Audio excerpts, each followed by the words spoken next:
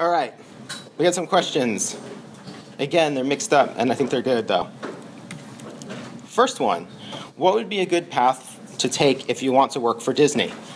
So I didn't ask someone that specifically worked at Disney, but uh, I did ask my friend Baaron, who I thought had won an Oscar, but I can't find evidence of that. Uh, but he has worked on Ice Age, Horton Hears a Who, uh, and Robots, and some other stuff. And he's been doing, let's see, Robots was 2005. He basically works on one movie for years straight. Okay, so this is what he said.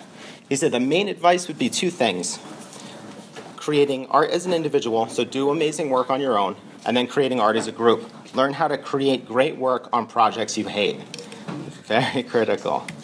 Um, so he says, Your work will say more about you than anything, and it will take you very far if you're a rock star. But to create great work, you need to practice. Like, most of your time should, like, totally be spent doing art with occasional moments of reading theory or studying other people's work, kind of like a whale in the ocean coming up for air.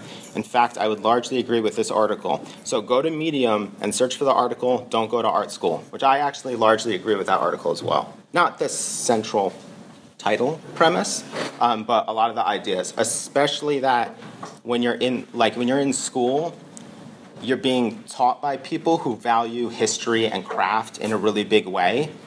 But then when you have a job or clients, they never once ask you what's the historical precedent for your work. It's shocking that you like you do something for Adidas and no one at Adidas is like, wait, double check how many art history classes that person has taken and find out if there's a link to Dadaism with his work. Never happens. Instead, it is like, how soon can you be done?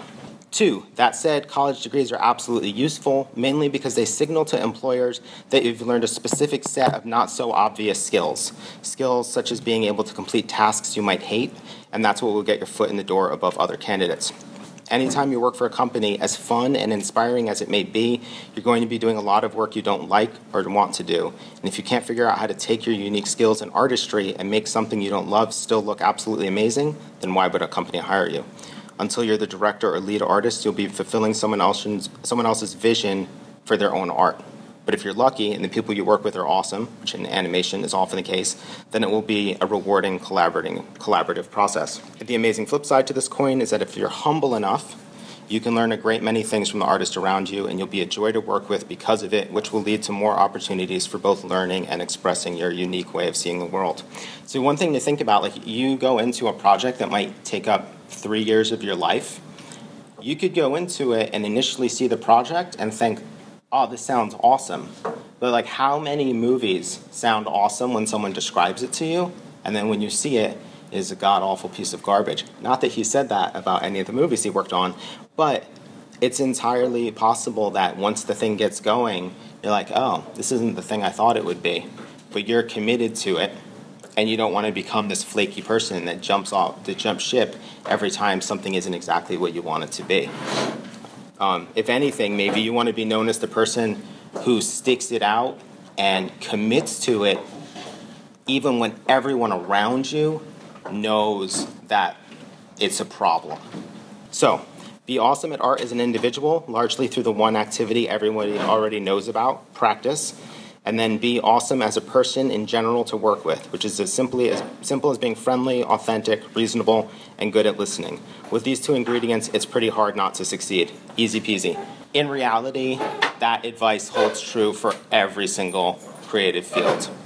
You do your work, you do good at it, but it's all the soft skills that are really, really important. You don't work in a lot of offices where people are knowingly hiring talented assholes.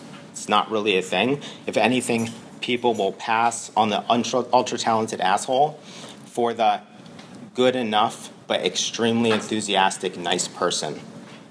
Um, so if you ever find yourself thinking, my work should speak for itself, it doesn't and it shouldn't. You speak for yourself, your work speaks for the work self. And when people work with you, they don't work with the work, right? They work with you as a human being who is either engaging, warm, collaborative, or difficult, antisocial, and always right. So, good work plus good person to be around is going to make it happen.